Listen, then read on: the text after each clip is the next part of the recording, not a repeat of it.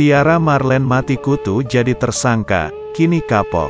Ngemis damai ke Faisal ya kagetlah resmi ditetapkan sebagai tersangka atas laporan Faisal. Selebgram Tiara Marlen, Selasa, tanggal 14 Juni tahun 2022, memenuhi panggilan penyidik Satreskrim Polres Metro Depok. Diketahui pemeriksaan ini perdana terhadap Tiara Marlen setelah ditetapkan sebagai tersangka atas kasus pencemaran nama baik atar laporan Faisal. Senin, tanggal 6 Juni tahun 2022. Laporan Faisal tersebut diketahui buntut ucapan Tiara Marlen yang mencemarkan nama baik mendiang Vanessa Angel.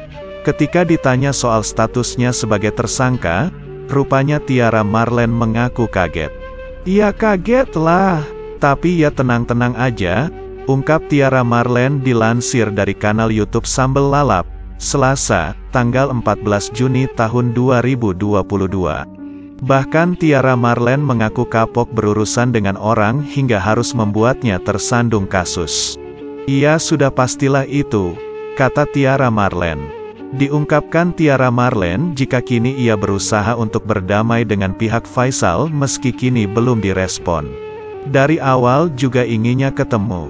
Kemarin juga mau ketemu empat mata sama Pak Faisal, Pak Sandi, ujar Tiara Marlen.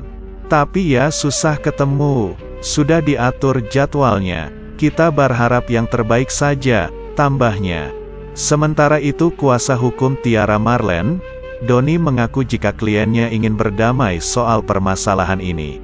Ayolah kita berdamai dengan Pak Faisal, kata Doni.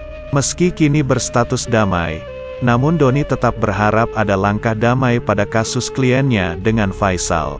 Kita tetap upaya damai, tapi sekarang kita gak mau tergasa-gasa, kata Doni.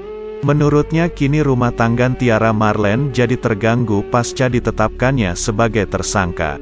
Kondisi ini Mbak Marlen jadi terganggu juga rumah tangganya juga terganggu.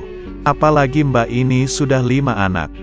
Kasihan anaknya, banyak harus diurus masa depannya, katanya.